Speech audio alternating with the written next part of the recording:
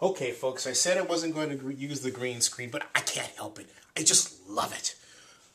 I want to talk about Demi Moore, the actress, one of my favorites, who's going through a really tough time at 49 years old, same age as me. Absolutely gorgeous.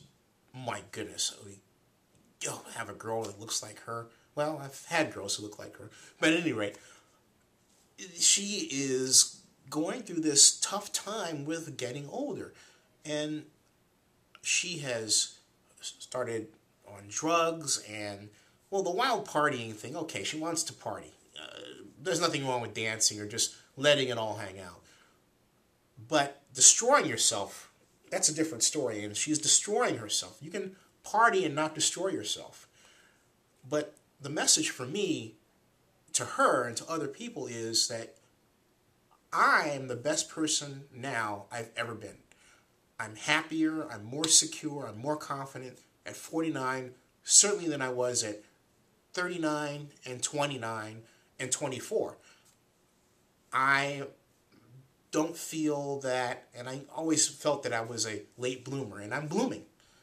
Everybody has their time, and I think Demi's confused because she's has her time right now, but she's screwing it up because, okay, she's 49. We get older. As my friend Emily said, we are in a life where we are consistently learning and improving, and it never ends. She told me that a couple of days ago, and that stuck with me. She's right. It never ends. Demi's having fun. She had fun with Snoop Dogg. Check this out.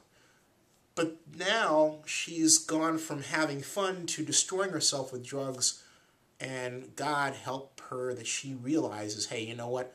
49 is a beautiful age. 50 is a beautiful age. 51, 55. Living life is a beautiful thing.